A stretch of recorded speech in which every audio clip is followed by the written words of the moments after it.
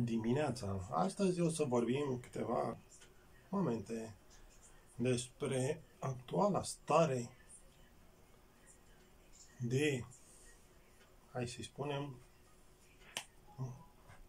educație a României. Toată lumea știe că unul dintre cei mai longevivi ministrii ai României a fost Ecaterina Andronoiu, rector al Universității din București sau Politehnicii București. E, printre reformele aduse de doamna Ecaterina Teodoroiu sunt următoarele. 1. Desfințarea școlilor profesionale.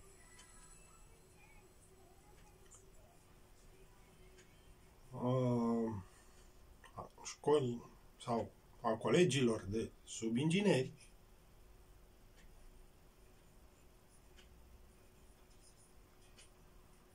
adăugarea câteva materii în plus la examenul de maturitate,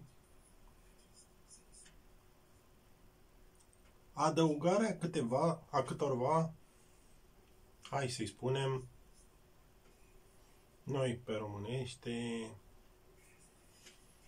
examenului de capacitate sau din clasa 8 -a. Bun. Și acum vine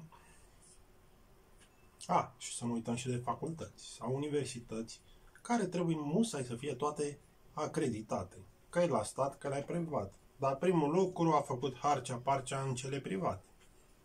Că la cele de stat, toate sunt acreditate de sus până în jos sau invers.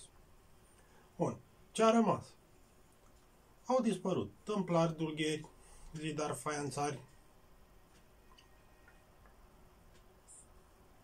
tehnician, amecist și toate cele.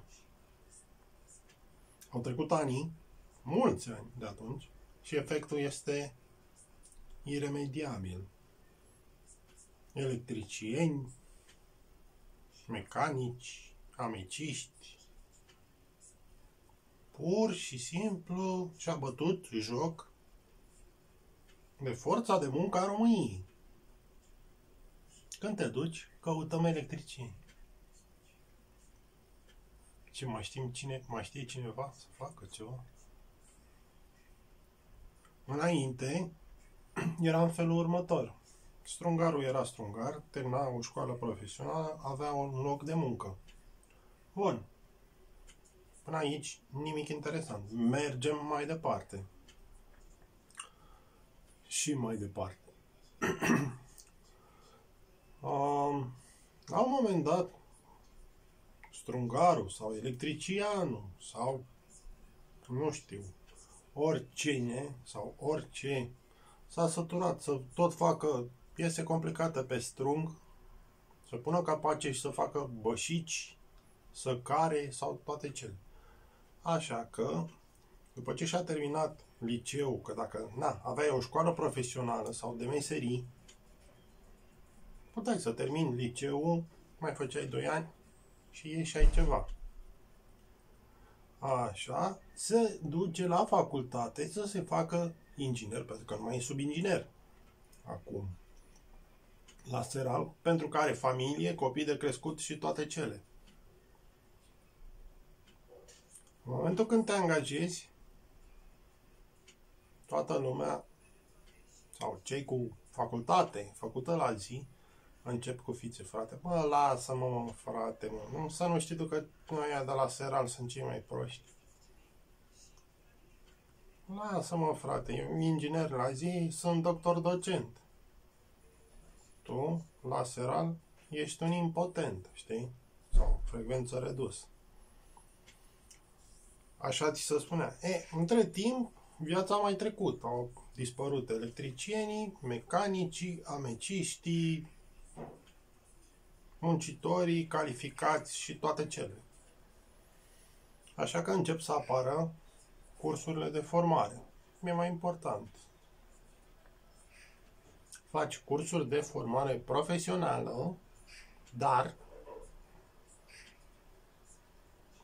ajungi electrician. Cu condiția să termin liceul. Datorită faptului că din 90 încoace toată lumea a înțeles că este democrație, nu este musa important ca toată lumea să aibă 12 clase. Pentru că nu-i se dă șansă ca afară, pentru că nu are cele 12 clase și are 8 clase, pleacă în afară, la muncă. Bun. Și afară, na, am nevoie de un ospătar, nu te întreabă. Parlando italiano, bene? Bene, bene. Și uite așa, ai experiență și toate cele. Când a, vănut, a apărut, hai să-i spunem, boala incurabilă a lui Xi, coronavirus sau noul coronavirus, s-au întors în țară și n-au găsit loc de muncă. Deci, practic, nu avem electricieni, mecanici, amiciști, muncitori calificați. Bun. Fără liceu, cu experiență, tobă de carte de afară, care nu se pune la noi în țară.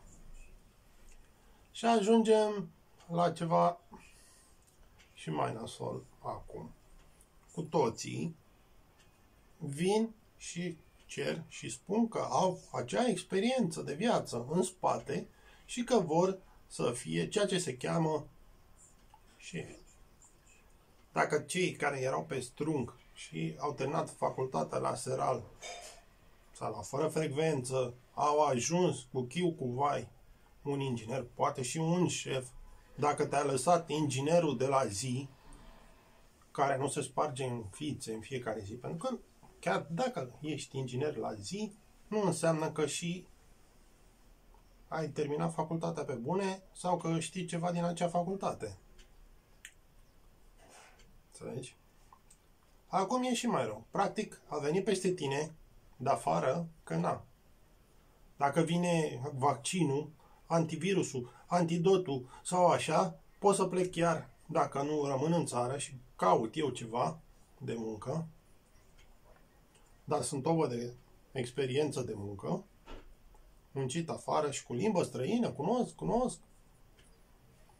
Italiano bene, parlando bene, așa, îi spune în față că vrea să fie șef. Practic, ca să ajungi de tot de așa, să urci, trebuie să termini cele 12 clase, să faci. Când ajungi pe la 12 clase, poate ajungi un șef în față. Poate. Asta dacă nu te lasă inginerul care a terminat la zi sau inginerul care a terminat la hai să-i spunem uh, ce se cheamă la fre- fără frecvență sau seral sau economistul sau mai știu ce. Iar acum revin. Am ajuns în acel stadiu în care avem nevoie de electricieni, mecanici, muncitori calificați, ameciți și toate cele cu experiență, pentru că, Doamne ferește, dacă spune un motor de 400 de volți alimentare cu, în loc de 5,5 kW, să spună de 3,5 kW, pe instalație o să iasă, credem artificiile de Revelion sunt mici. Bun, revenim la cursuri. Și acum apar cursurile de calificare sau recalificare sau reorientare profesională. E, în momentul de față sunt pentru două categorii de persoane. Cele care au terminat studii superioare și cele care au terminat liceu. Practic, faci o facultate, eu știu, și la sfârșit să termini și ești expert în resurse umane. După patru ani. În același timp, vine și un inginer care a terminat la zi și face un curs de două săptămâni de resurse umane. Ambii pot profesiona, pot fi profesa, pardon. Ca să vedeți ce reformă a învățământului și a educației în România avem. Bine, și mai sunt și cursuri care îți trebuie doar liceu. În momentul de față, nu știu dacă e de plâns sau de râs, dar dacă ar fi și pentru persoanele cu 8 clase, ar fi o tragedie. Mâine, poi mâine, vedem că avem nevoie de un jurnalist care a terminat 8 clase, un stomatolog care a terminat 8 clase, un, nu știu, tinichigiu care a terminat 8 clase. Pur și simplu este o debandadă totală. Dar realitatea aceasta e. O zi plăcută în continuare.